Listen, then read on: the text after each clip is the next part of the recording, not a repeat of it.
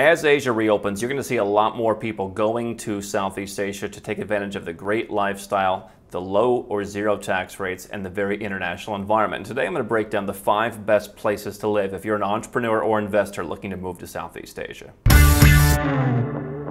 So the criteria that I'm using here is as a lifelong entrepreneur and an investor who is on Google Meets calls, who is talking to a team, who is traveling for work, who wants a certain standard of living, who wants certain amenities, uh, and who needs able to get around. So those are the standards that I'm talking about today. Uh, so we're not going to be talking about some of the further flung cities, some of the smaller places, some of the more rural or rustic or up and coming places, because I just don't think for a lot of entrepreneurs and investors you want to go there. So the five places we're going to talk about, you've probably heard of. I'm going to make the case for why they're in the top five. And if it's your first time here, I'm Andrew Henderson, founder of Nomad Capitalist. We're a boutique consulting firm that helps seven and eight figure entrepreneurs and investors legally go where you're treated best. That includes you want to move to Southeast Asia, dramatically reduce your tax rate, reduce your cost of living, and have a lot more fun in your life. We help people reduce their taxes, diversify and protect their assets, get a second passport. You can learn more at nomadcapitalist.com. And so, uh, I live in Kuala Lumpur, Malaysia, part of the year. That is, for me, the best place to live.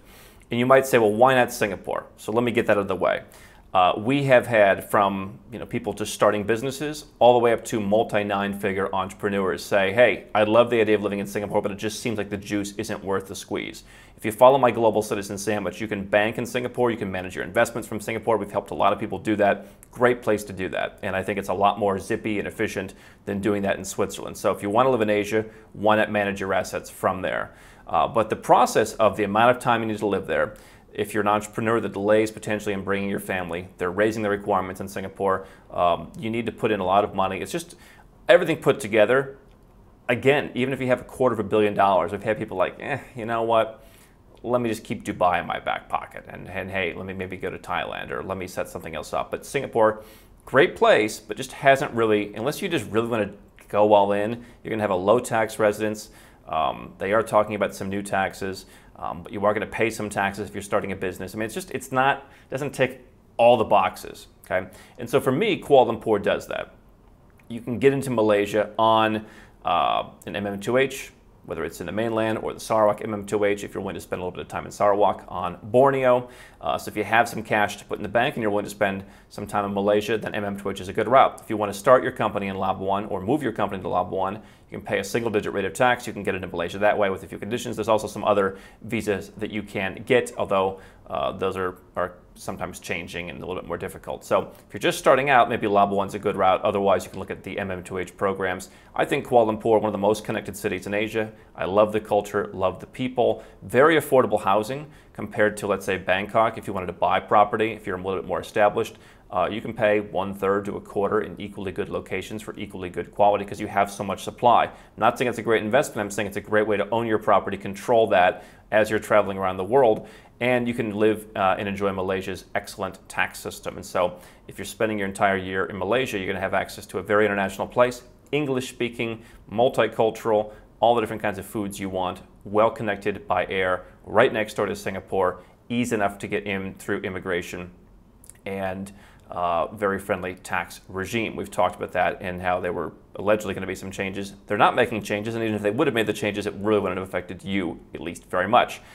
What I look at when it comes to Southeast Asia is big cities, that's Kuala Lumpur. I also look at beach places. And so if you want more of a beach vibe, Penang is a uh, large city in Malaysia. You've got plenty of services. Not as many services in KL, but we have a lot of Australians, for example, who want to move to Penang. If you're used to being on the water, you don't have it in KL. I have a tendency to live in places where we're not on the water. Uh, that's my habit, it seems. Uh, but if you want to be in the water, Penang is available. So all the same immigration programs, all the same tax uh, advantages bit more of a, of a Chinese culture, although they are no longer the majority there. So you've got the Malays, the Chinese, and the Indians as the primary ethnic groups in Malaysia, and the Chinese were the majority group uh, up until recently.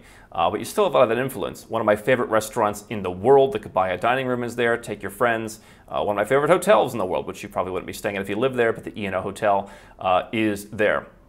Uh, so great vibe. Seems a little bit more gritty um, and I think KL is a little bit more gritty than, let's say, Singapore, which I happen to think is a good level of grit. I don't want things to be too perfect in my own personal life.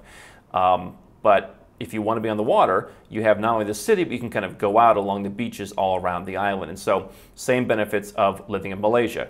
I would make the same comparison next door in Bangkok uh, and in um, Phuket, Thailand. And so, big city, uh, more beach vibes. So, you kind of have Bangkok versus KL, uh, Penang versus Phuket. Everyone has their taste. Bangkok, less English speaking, but somehow also more international. Uh, when I was in Bangkok, I actually had a better time than I usually have recently, and I saw uh, and really enjoyed some, some great international restaurants. So whether you want German cuisine, whether you want French, you're gonna have a bit more of that in Bangkok than you will in KL. KL, you're gonna have a lot of local food, Arabic food, um, a lot of different Italian food, um, but it's gonna be a bit more Asian in terms of just what people are looking for. You have a lot more international options in Bangkok. You've got a Taco Bell in Bangkok, so if you're like me and that's your one guilty pleasure from the US, then you might wanna go to Bangkok, uh, based on around Taco Bell.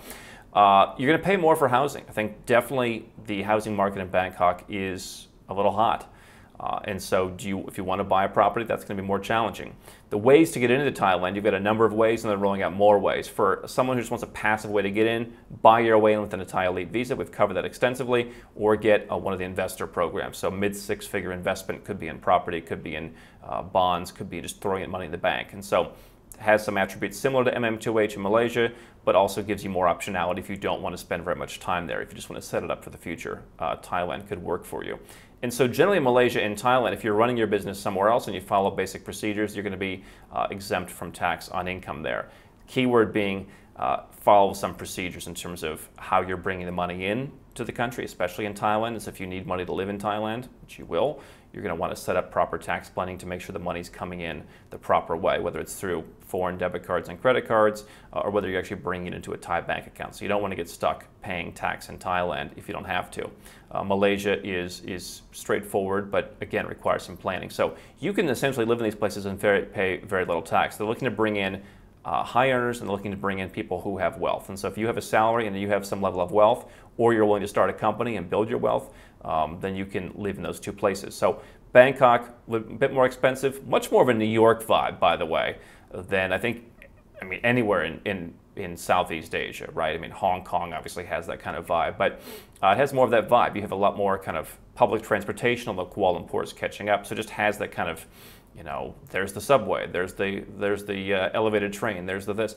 It has more of that New York vibe. Phuket, at one point was the fastest growing place in Thailand. So if you want that island vibe, can't say it's been my place, but definitely people go there, and so you can enjoy that, um, you know, more uh, beach lifestyle there. Uh, definitely better than something like Pattaya. Something like a Hua Hin comes up in the radar every once in a while. Probably not really just developed enough for what most entrepreneurs are looking for and a little bit less accessible. Phuket, I mean, you see flights uh, back to the Middle East, for example. I've seen people who've flown from Kuala Lumpur back to the Middle East through Phuket, and so you have good international connections there. And so Malaysia and Thailand, to me, are the best countries. Even if you can afford to go to Singapore, again, the juice isn't often worth the squeeze. And so um, what I'm le- left with last is my fifth selection. I think this would probably be the one that I would look at after the first four, would be Manila in the Philippines. So fewer immigration options now, but again, if you have some money to your name, you can get in through uh, residence. Not really an option to set up a company there and wouldn't want to, but same tax treatment. And if your company is somewhere else and you do proper tax planning, you can ostensibly pay nothing on that. Um, and so, uh, Manila, I would say the place to be would be uh, in the fort, Bonifacio Global City. Uh, most of the time that I've been in Manila, I was in Makati, which is kind of the old place to be. And so you have some nice hotels, you have some nice malls, uh, but you know, Bonifacio is really the new place to be. And when I first went there, I'm like, this is almost like Singapore. Uh, I'm hearing more and more people tell me when they're going to various places in, in um, Southeast Asia, parts of the city really feel like Singapore. Someone even told me parts of Phnom Penh, Cambodia felt like Singapore. Not all of it, certainly, but a little part of it.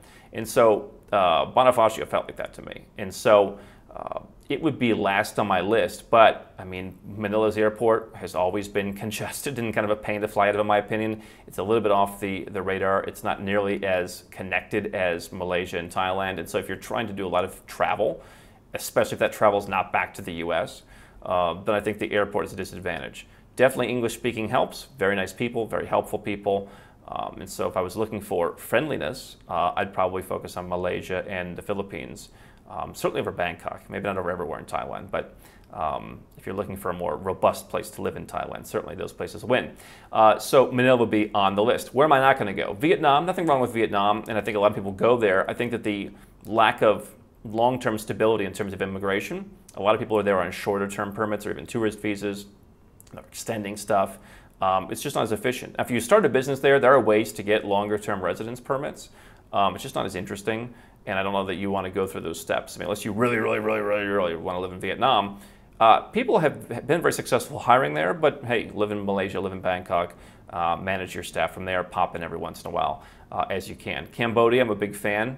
Um, Phnom Penh, not really any more affordable than any of the rest of the places, and the quality of life just isn't there yet. So unless you want to watch a frontier market evolve in front of your very eyes, I don't think it's worth it. And if you don't want to do that, take some vacations. Stay at the Raffles Hotel. Stay at any of the many, many places you can stay around BKK1 or anywhere in Phnom Penh and just watch it unfold on a one-week vacation. Um, you know, Myanmar obviously is, is, is going to be out. Uh, Indonesia, I think, you know, again, lack of kind of long-term tax-friendly residences. Uh, Jakarta is an interesting city, probably a great city for social, uh, but not a place where um, you're going to get anything done. I mean, driving around takes forever.